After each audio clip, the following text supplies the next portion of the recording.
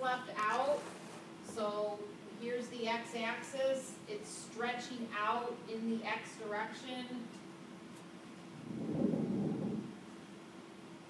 And again, you can see your parallel lines, you know, that kind of helping to form the curve, I know. You could also make, you could make parallel lines this way. There's your parallel lines. Again, you could picture a piece of paper bent. It's just, I, with the window I used, you have those asymptotes of secant, so that's why, you know, you have these separate little sections.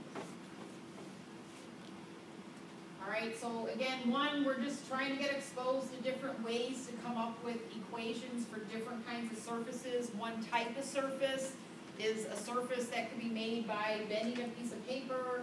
It's technically called a cylinder, so this is a cylinder, even though it doesn't look like a Pringles can. Um, if you do have such a shape, you'll be able to find a direction of parallel lines that kind of form your shape. And a way to come up with such an equation is to write a function in two of the variables, but interpret it in three D, and you get your piece of paper stretching out in the direction of the variable that's missing. Okay, I'm just kind of repeating what I said.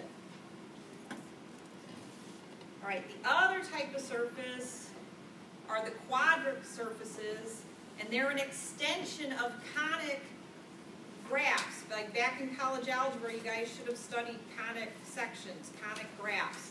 And in college algebra, you would have learned about circles, ellipses, parabolas, hyperbolas. Okay, so quadric surfaces are an extension of that topic.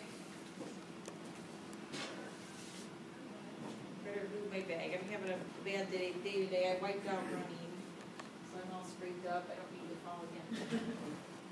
Luckily, I've learned how to fall, like, I throw, up with pushing my luck, but I've never broken any bones, like, I've fallen a lot. In fact, over vacation,